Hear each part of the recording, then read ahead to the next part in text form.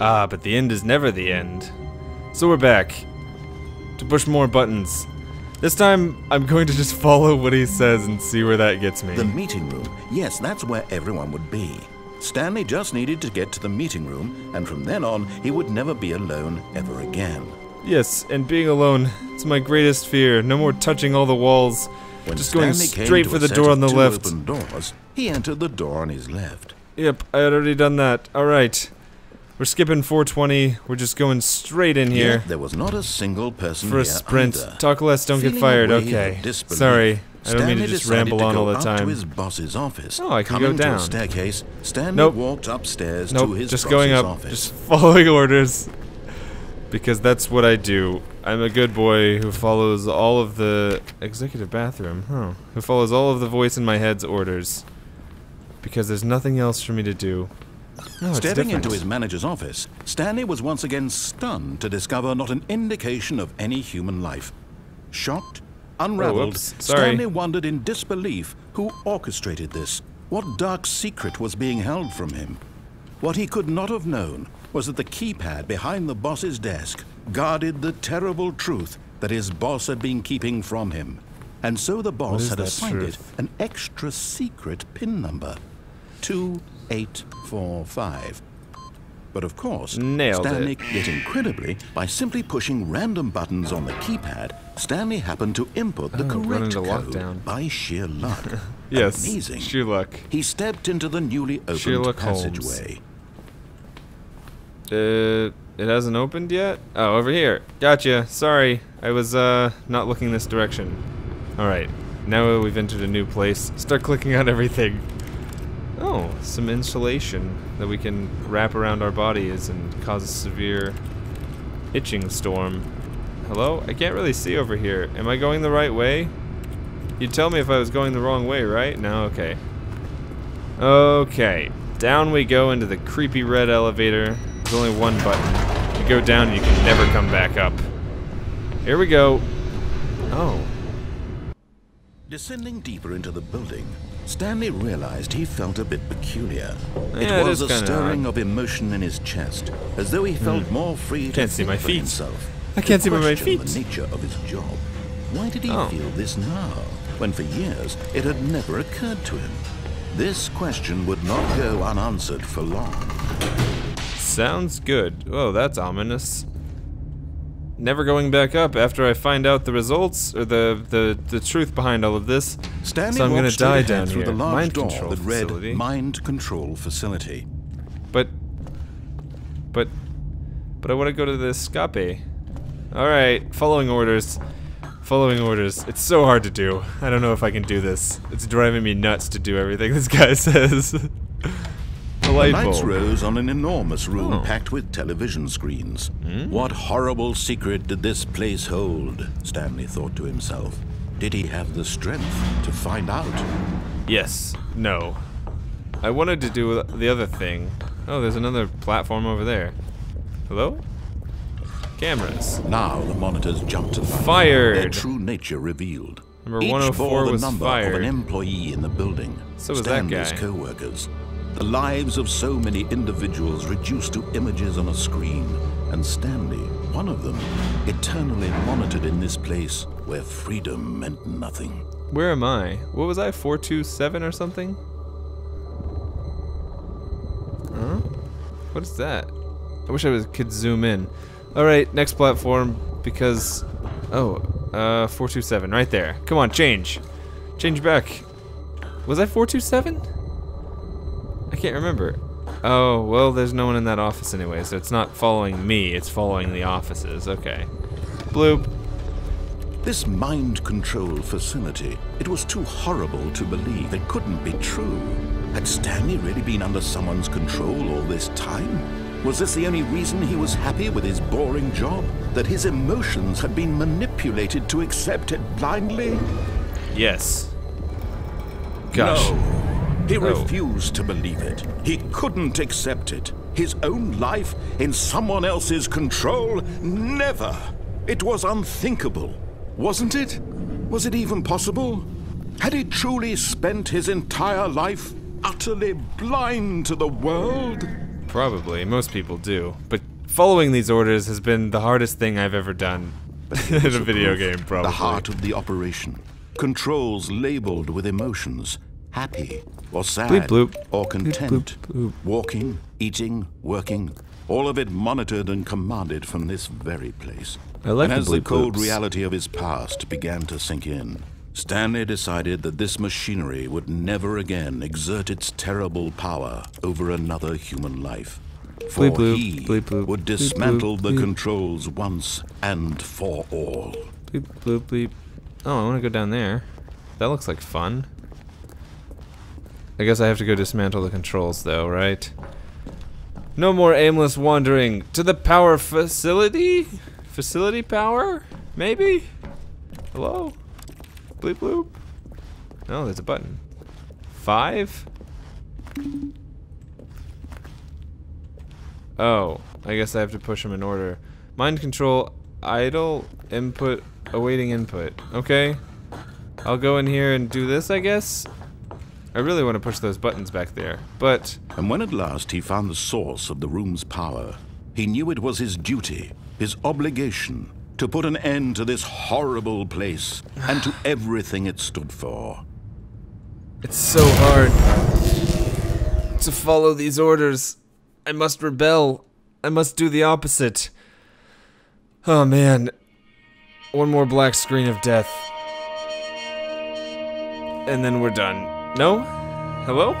Blackness and a rising chill of uncertainty. Was it over?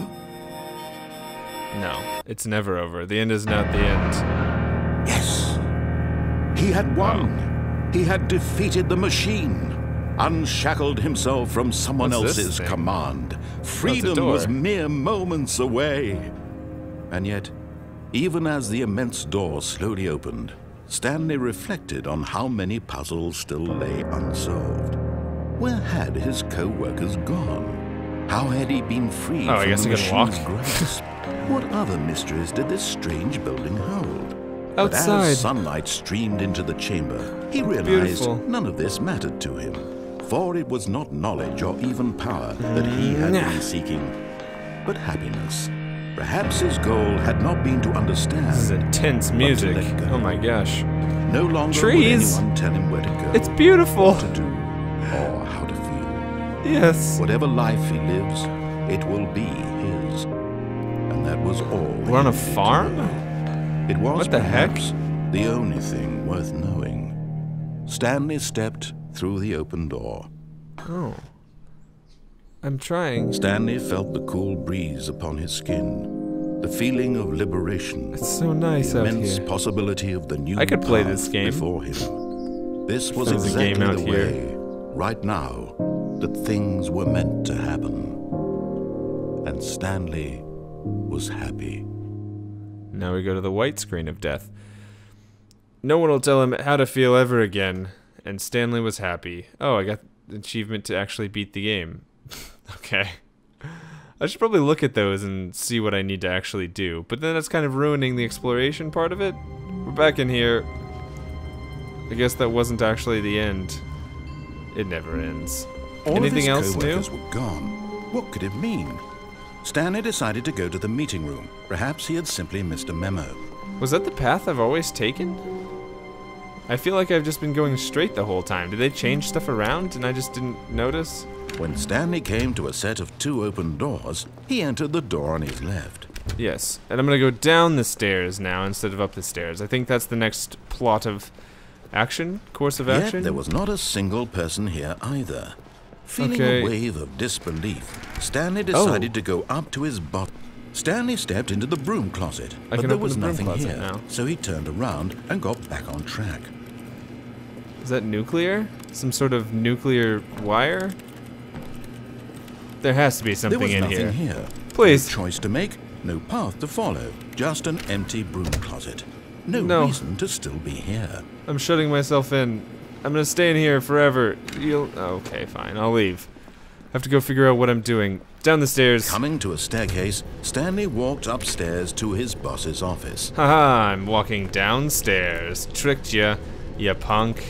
Fire hose. Red light. I'm gonna hide under here, and he'll never find me. Never mind. Can't hide very well. Hello? But Stanley car. just couldn't do it. He considered the possibility of facing his boss, admitting he had left his post during work hours. Can't open he the might car. be fired for that. And in such a competitive economy, why had he taken that risk? All because he believed everyone had vanished? His boss would think he was crazy. It's just And then something occurred to going Stanley. home time because it's maybe like no. he thought to himself, maybe I am crazy. All of my coworkers blinking Coffee nap. mysteriously out of existence in a single moment for no reason at all. None of it made any logical sense. It's just because we're in a pondered this, computer and the he began internet to make ran other out. strange observations. For example, why couldn't he see his feet when he looked down? I asked Why that did earlier. doors close automatically behind him wherever he went? Yes, I've asked And for that that too. matter, these rooms were starting to look pretty familiar. Were they simply repeating? No, Wait, are Stanley they said repeating? to himself, this One, is two, all too strange. This can't be real. One, two, and at B, four. last, he came to the conclusion that had been on the tip of his tongue. He just hadn't found the words for it. I'm dreaming! He yelled. I'm this is all a game. dream. Aha, yes. Oh, Car again. relief Stanley felt to have right. finally found an answer, an explanation. And he makes another left his turn. co-workers were and he's going around the bend. He wasn't wait. going to lose his job. was he wasn't crazy after all. He Eh. thought to himself, I suppose I'll wake up soon. One, two, I'll have to go back to my boring real-life job pushing buttons. Time hasn't really advanced I may as much. well enjoy this while I'm still lucid. So, he imagined himself flying and began to gently float above the Oh. ground. Oh, Then he imagined himself this. soaring through space on a magical starfield, and it oh. too appeared. It was so It's much beautiful. fun, and Stanley marveled that he had still not woken up. How was he ah. remaining so lucid? And then perhaps the strangest Science question of them all magic. entered Stanley's Stanley's a wizard. One he was amazed he hadn't asked himself sooner. What happens if Why I go the other is there a Oh, voice no. in my head dictating everything that I'm doing and thinking? I asked that Now the voice was describing itself being considered by Stanley, who found it particularly strange. I'm dreaming about a voice describing me, thinking about how it's describing my thoughts, he thought. This And while he thought it all very odd and wondered if this voice spoke to all people in their dreams, the truth was that, of course, this was not a dream. How could it be? Was Stanley simply deceiving himself? Believing that if he's asleep, he doesn't have to take responsibility for himself? I mean, I'm not Stanley taking enough left turns, right am now I? As he's ever been in his life. Now, hearing the voice speak these words was quite a shock to Stanley. After all, he knew for certain, beyond a doubt, that this was in fact a dream. I think Did they the just voice built a bunch of float and make the magical stars just a moment ago? How else would That the voice exactly explain all same. that? This voice was a part of himself too. Surely, surely, if he could just. He would prove it. He would prove that he was in control, that this was a dream. So he closed his eyes gently, and Um, he know, invited are himself to wake up. Okay, He felt the I cool can't move weight anymore. of the blanket on his skin, the press of the mattress on his back, the fresh air of the world outside this one. like the one Let I used me to wake know. up, he thought to himself. I'm through with this dream. I wish it to be over. Let me go back to my job. Let me continue pushing the buttons. Please, it's all I want. I want my apartment, and my wife, and my job. All I want is my life exactly the way it's always been. My life is normal. I am normal. Everything will be fine. I am okay. I wonder if this is some sort of thing about the uh, the developer of the game and how he felt about his job, or the developers, how Stanley they felt about their began job. screaming. Please, someone don't wake know. me up. My name is Stanley. Oh, gosh. I have He's a just boss. I have an office. I am now. real. Please, just someone tell me turning I'm real. I must be real. I must be. Can anyone hear my voice? Who am I? Who am I? And everything went black. Oh. Well, that delved into a lot of chaotic thoughts. This is the story of a woman named things. Mariella. What? Mariella woke up on a day like any other. Mariella parable? She rose, got dressed, gathered her belongings, and walked to her place of work. Oh. But on this particular day, her walk was interrupted by the body of a man who had stumbled through town talking and screaming to himself, and then collapsed dead on the sidewalk. And although she Oh. would soon turn to go call for an ambulance, for just a few brief moments she considered the strange man. He was obviously crazy, this much she knew. Everyone knows what crazy people look like. And in that moment, she thought to herself how lucky she was to be normal. I am sane. I am in control of my mind. I know what is real and How what did he isn't. die?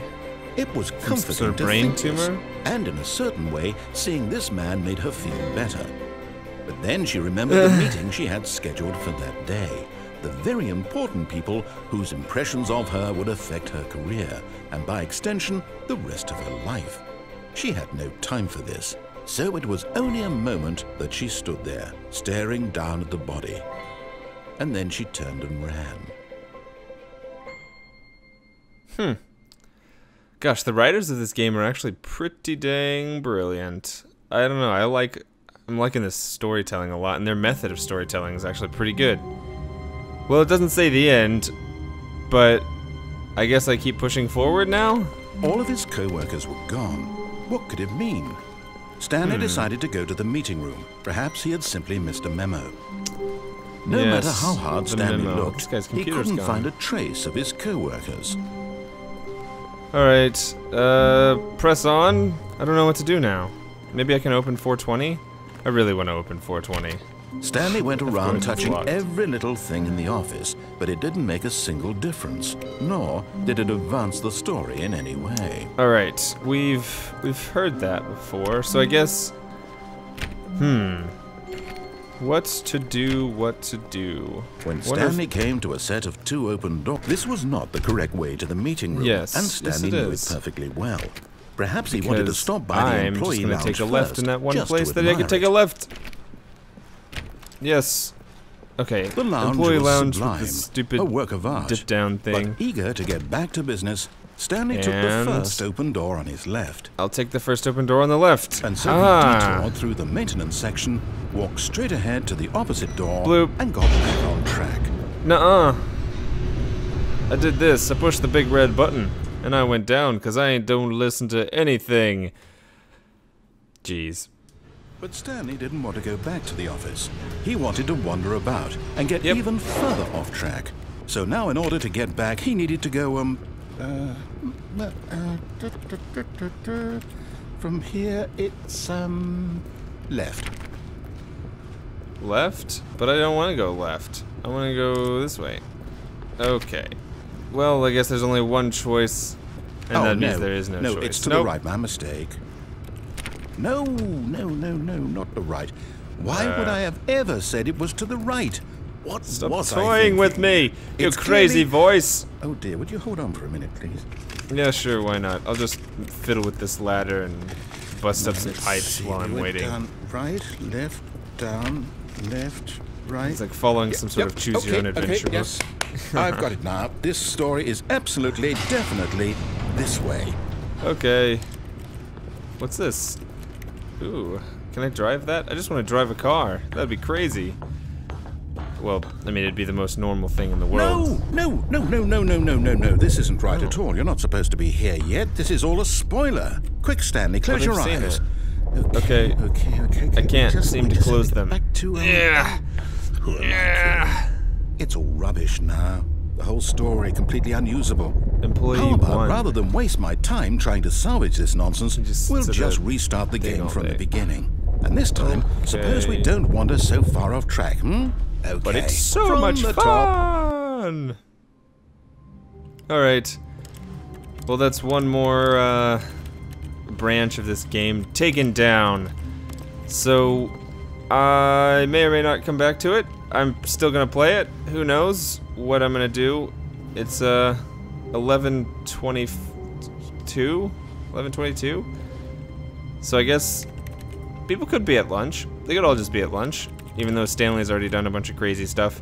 Anyways, um, yeah, this game is nuts. So, thanks for watching, and I'll see you guys in the next one. Bye.